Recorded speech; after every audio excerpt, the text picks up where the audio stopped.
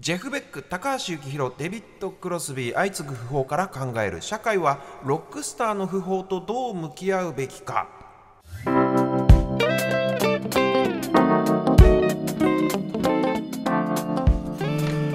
あちょっと大げさなタイトルですけど、はい。まあ、僕がその訃報続きでいろいろ思うことがあってそれをただ言いたいというだけなんですけど、まあ、先週高橋幸宏さんの追悼という感じの企画でその幸宏さんが亡くなられた同じ週にジェフ・ベックも亡くなって、さらには先週の放送中にデビッド・クロスビーの訃報も入ってくるというロックファンにはなかなかショッキングな日々が続いているわけなんですがこのデビッド・クロスビーっていうのはあの以前この音楽コラムで半世紀にわたって喧嘩し続けているスーパーグループっていう,、はい。う切り口であの紹介したことがありますけどまあとにかくロックの歴史を作ってきた人たちっていうのは60年代70年代当時に20代の若者だった人たちなので、はい。当然みんなもう70歳から80歳くらいの年齢になられるわけで、はい。まあ不法が相次ぐっていうのは自然の摂理から言えば仕方がないところではあるし、でまあこの番組では70年代の音楽っていうのを普段からたくさんかけてるということもあってそれと僕の音楽の趣味なんかもあってこのコーナーで追悼企画としてお話しするケースも必然的に多くなってくるというような感じですよね。はいであのこういう訃報が入ってきた時に、まあ、メディアとかが一斉に取り上げたりとか SNS なんかでもバーッと一斉に話題になったりするっていうことに関して、はい。結構個人的に複雑な気持ちというのがあってですねまあ、どういうふうに複雑かっていうと、まあもちろん訃報そのものが大ニュースになるっていうのいうこと自体がそのアーティストの偉大さの証でもありますよね。でその人のキャリアを改めて振り返りつつその死を悼むっていうのは非常に自然なことだとは思うんですが、ただはいはい。例えばジェフ・ベックにしても高橋幸宏さんにしても訃報に際して、はい。まあ、僕は当然音楽関係の知り合いが多いわけですから SNS なんかでもとにかく周りのミュージシャンとか音楽好きの SNS の投稿っていうのがこう流れてくると、うん。あの本当ねびっくりするくらい熱い内容のものが多いわけですよ。ああこんなに好きだったのかみんなっていうジェフ・ベックこんなにこの人好きだったんだとか、YMO そんなに好きだったんだみたいなのをそれで知ることっていうのも多いわけですね。でその割にじゃあそういう人たちが普段ジェフ・ベックとか YMO について話題にしてたかっていうと全くしてないわけなんですね普段。なるほどはいはい例えば10年以上あなたのことツイッターでフォローしてますけど、うん今までジェフ・ベックのジェの字も出たことなくないですかっていうパターンが非常に多いわけなんですよ。はいはいはいその要はそのアーティストが死んでからいくら褒めたたえたって遅いっていうことをすごく言いたいというか、なるほど。うん。その人が演奏活動とか創作活動を頑張ってる時にうん。ちゃんと話題にして応援してあげないとまあ何にもならなくないっていう気持ちもすごくやっぱりあって、うん。その要はあのこう話題に乗っかりたいだけのにわかファン許すまじみたいな話ではなくあてみんな本当に好きなのよ多分、うんうん。その訃報に際しての投稿を見ると。はい。あこんなに好きだったんだったら生きてるうちにもっと、うんもっと話題にしてあげればよかったのにっていうはい意味で非常に歯がゆい気持ちになるわけですよ。うんでねこういう言い方すると、まあ、ジェフ・ベックにせよ YMO にせよ、ん。そんな世界的なレベルのアーティストに対してうん。話題にしてあげるとか、うん。褒めるとかそんな一リスナーとしてちょっと自意識過剰じゃないのって思われちゃうかもしれないですけど、でも音楽って本当に大げさじゃなく世界で誰か一人聞いてくれてる人がいるかどうかっていうことがはい。作り手側にとってはものすごい大切なことなんですね。でうん。その世界のどこかで誰かが自分の音楽を聴いてくれているっていう非常にシンプルなその事実小さな一つの事実がはい。どれだけそのアーティストを励ますかっていうことなんですよ僕が言いたいのは。あるいはうん関係者のモチベーションはい。にとってどれほど大切か。あー今 SNS 時代だからなおのことですよ。全てリアルタイムで可視化されるわけじゃないですか。聞こえますね声が。でアーティスト本人がエゴサしてなかったとしてもですよ、うんうんうん。レコード会社とかマネージメントに関わる人っていうのは必ず SNS をチェックするわけです。うん。マーケティング業務の一環としてエゴサをするわけです、必ず。だからね今日もどこか知らない国の知らないラジオ局でかかってたとか、うん。SNS でね遠い国の若者が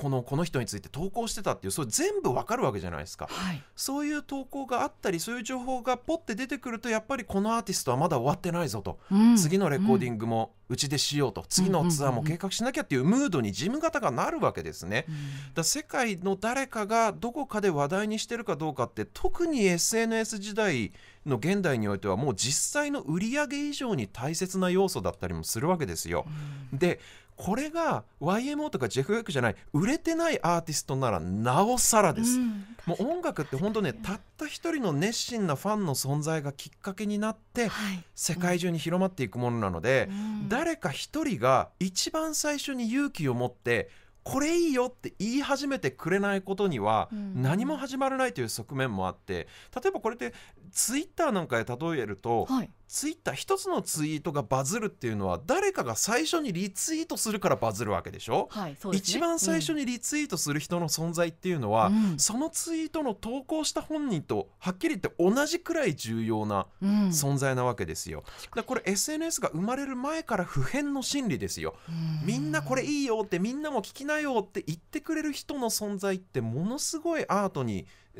の世界では重要なんですよね。その人の存在がなかったら本当にねその作品が社会においては存在しないに等しいっていうくらい重要な存在。はいなんでその人の音楽が本当に好きなら死んだ時だけじゃなくて普段から好きってちゃんと言ってほしいっていうその音楽制作に普段携わってる人間としては特にそう思うわけですよ。うん。うんうん推しは押せるうちに押してくれっていうことです。す。ねはい、で僕は今例えば放送、まあ、ミュージシャンですけど今は放送する側に関わる人間として、うん。やっぱり時事性とかニュース性っていうものを意識当然しないといけないので、はい。このコーナーでもやっぱり過去にさまざまな訃報を扱ってきました。特に普段の番組の選曲で関わりの深いミュージシャンっていうのはあの意識して必ず取り上げてます、うん。例えば国内のミュージシャンだと村上ポンタ秀一さんとか小坂忠さんとかあね。はい。あるいは堤恭平さんなんかは番組全体で特集うん。急遽組んだこともありましたけど、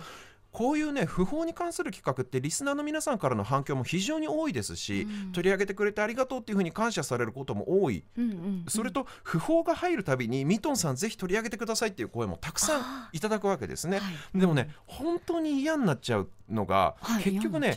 YouTube ではい。このアーカイブね、はいはいはい。あの上げてるじゃないですか。ですね。YouTube で再生回数上がるのがはい。不法にまつわることばっかりなのよ。でねはいはい例えば、はいバン・モリソンの新譜が出ました。ウィリー・ネルソンの新譜が出ました。なんて言っても全く再生されないです。数字が跳ねるのは不法絡みのものばっか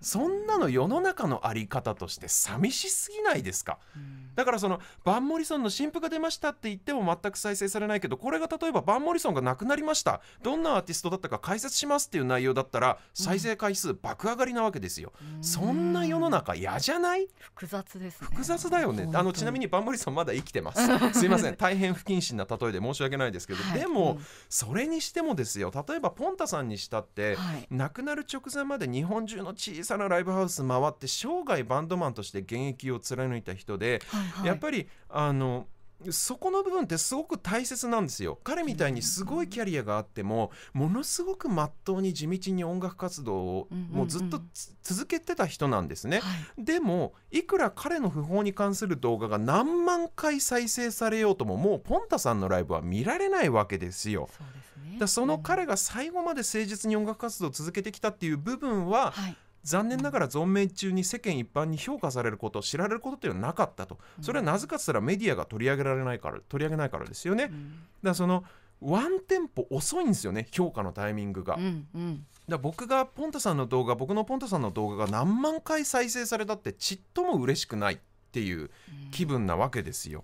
だとにかく訃報をきっかけにその人の功績振り返るっていうのはもちろん大切なことだとは思うんですけど、うんうん。そのアーティストが死んじゃう前に話題にするっていうことはそれ以上に大切だと思うんで、はい。やっぱりインパクトの話題インパクトのある話題ばかりに飛びつきがちっていうこのメディアの世界に今身を置く人間として僕はこれはすごく自戒の念を込めて自分の力不足をすごく感じてる部分でもあるんですけどはいでも SNS の時代って現代においては世界中の全員がメディアなんである種。そうですよねだやっぱりうんもし今聞いてるこのラジオを聞いてるあなたに推しがいるならはい生きてるうちにちゃんと推してほしいというふうに心から願うというわけなんですよ。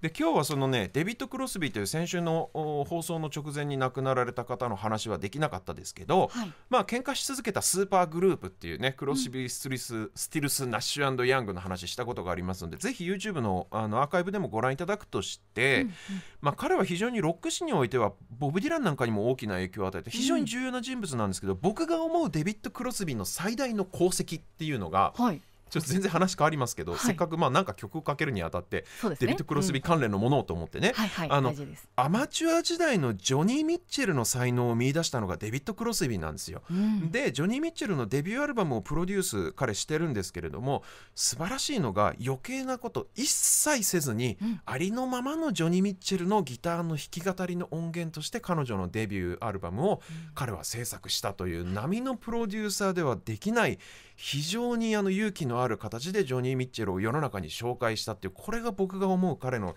非常に大きな功績だったと思うので今日はデビッド・クロスビープロデュースのジョニー・ミッチェルのデビューアルバムから1曲ジョニー・ミッチェルもねあの長生きしてほしいなという思いも込めて、はい、えー、ジョニー・ミッチェルの「マイケル・フロム・マウンテンズ」をお聴きください。